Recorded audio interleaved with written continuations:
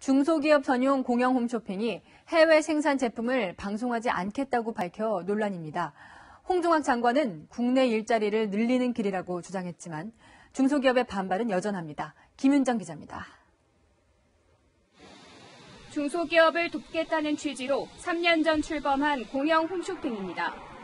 국내와 해외에서 만든 다양한 제품이 판매됩니다. 그런데 공영 홈쇼핑이 국내에서 만들어진 제품만 판매하겠다고 선언했습니다. 해외로 이전하는 중소기업 생산을 최소화해 국내 일자리를 지키겠다는 겁니다. 한 해 방송되는 상품의 20%, 공산품의 40%가 OEM 등의 방식으로 해외에서 생산된다는 이유로 퇴출 위기에 놓였습니다.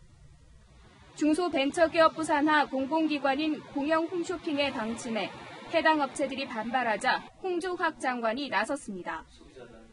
국내에서 힘들게 일자리를 만드는 중소기업에 기회를 주는 게 갑질이냐고 반박한 겁니다.